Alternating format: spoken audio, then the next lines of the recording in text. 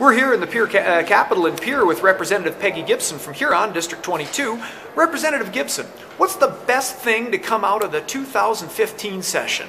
Well, thank you, Cory. The best thing that I think to come out of the 90th legislative session this year is the reinstatement of the Jolene's Law Task Force, because that is going to deal with child sexual abuse in our state.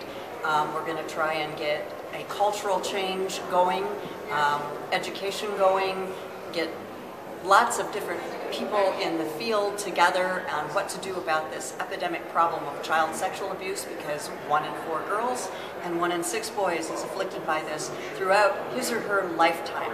And we really need to get going on this problem because it causes problems for everyone in our state. And it's very, very financially um, detrimental to the state of South Dakota as well. So to me, that's the best thing that happened